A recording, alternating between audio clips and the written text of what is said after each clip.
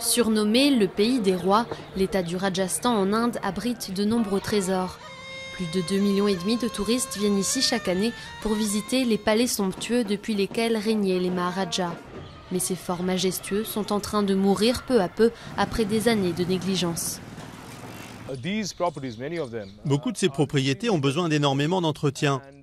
Elles ont besoin d'être protégées, réparées et rénovées régulièrement. C'est la seule façon de les entretenir. Un moyen d'y parvenir, c'est de faire en sorte qu'elles servent à quelque chose.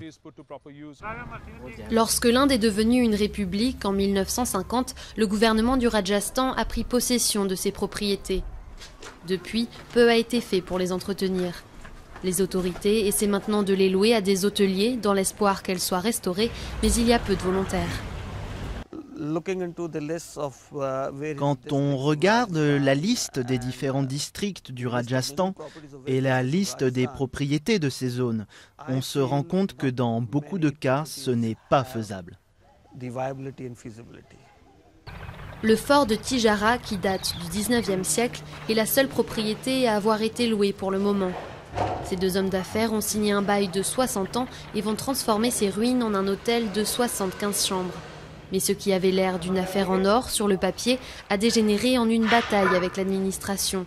Il leur a fallu 7 ans pour prendre possession des lieux et ils ont dû investir leur propre argent pour construire les infrastructures les plus basiques. L'équivalent d'1,5 million d'euros a déjà été dépensé.